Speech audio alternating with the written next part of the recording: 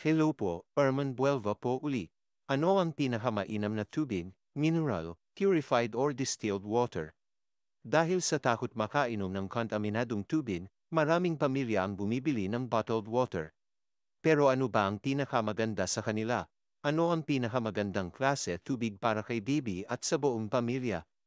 Siyempre, malinis na tubig na walang lamang bakterya, virus, chemical o iba pang klase ng dumi.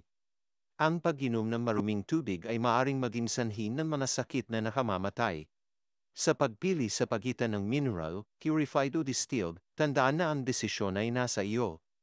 Kaya marami rin ang nagtatanong, ano ba talaga ang pinakamaganda, mineral, purified o distilled?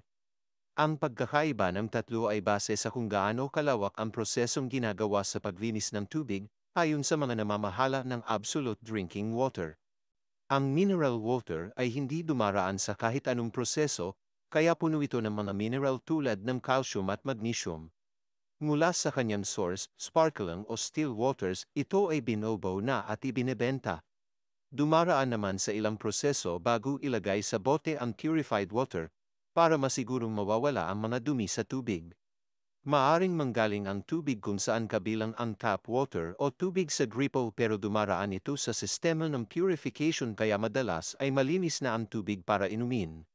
Sa distilled water, meron pang idinagdag na proseso sa water filtration para masiguro na ang tubig ay puro at malinis. Tinatanggal ng karagdagang proseso na ito ang mga mineral at solid residues mula sa source na maaring maglaman ng mga nakakasamang kemikal. Kaya naman nasasabi ng mga gumagawa ng distilled water tulad ng absolute na ito ang pinakamalinis at purong tubig na dapat piliin. Herman Buelva po uli God bless po.